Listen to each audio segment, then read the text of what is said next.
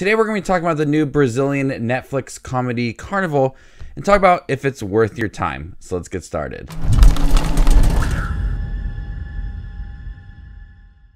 Welcome back to my channel. My name is Justin. I love to watch movies. If you guys love to watch movies too and Netflix, you guys are in the right spot. Make sure you hit that subscribe button down below and click that bell notification for more up and coming content. After a breakup, an influencer takes her friends on a free trip to Bahia's vibrant carnival where she learns life's just not about social media likes. Four friends win a free trip to a vibrant carnival. The main friend here is a social media influencer. She wants to have a million followers on Instagram. She is all about stories and product placement and everything about social media to the point it really affects her relationships with her three friends. The synopsis really gives away like the main message of the movie that social media is not the most important thing and the friends right in front of you you need to have that friendship and not worry about like social media and all the attention from that when you have the attention from your friends right in front of you.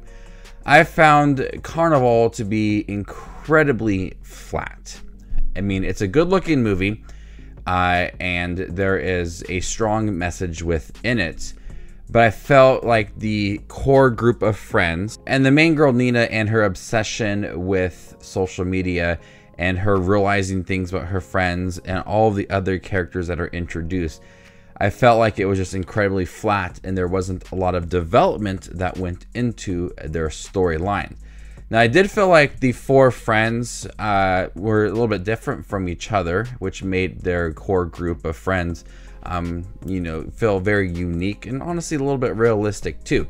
They did feel like friends. I will give this movie that is that uh, I enjoyed watching them four together. They all seemed like strong friends. Some friends didn't have the strongest storyline. Some really had the bulk of the movie. We had one friend who was a gamer, and anytime that someone wanted to talk to her, she asked she asked them what were the three balls from Quidditch from Harry Potter, or how fast the DeLorean had to go to go back in time. Um, questions about pop culture and everything, because that's what her interest was. Whereas another friend uh, was afraid to go to this carnival because when she was younger, she went to something similar and got lost from her family, and so she has all this anxiety surrounding the carnival. I felt like that storyline was severely underdeveloped and it was just there. There was really nothing to some of these characters. My problem with some of this movie is towards the end of the film where we kind of start to have this realization of what social media is and how it is affecting certain relationships. But the movie is also trying to add on other characters and their stories as well when they don't feel very important to the story and the initial setup for the film. There's this young girl who's also a social media influencer, and Nina really looks up to her. And she says some things on the television, and people start to hate her. And so we focus a lot on that and how she has this backlash. We also focus on this guy who is um, really big pop star, and Nina wants to get really close to him so she can gain that million subscribers. Their storylines, uh, they devoted a lot of time to it, which was surprising to me when it easily could have focused a lot more on the four friends that were starting to butt heads towards the end of the movie. And that's where the message was starting to come in that, hey, social media is not that important. We need to be friends and uh, pay attention to how your friends are feeling. That easily could have been a moment that could have been strengthened. Instead, they gave a little more time to other characters that never felt very important to the story or weren't even likable characters in the first place because I like the four friends. They all are enjoyable characters despite social media obsession and neglecting certain feelings of friends. I did like each one of these characters in their own way. But the film forgot its main setup in the beginning the four friends and social media.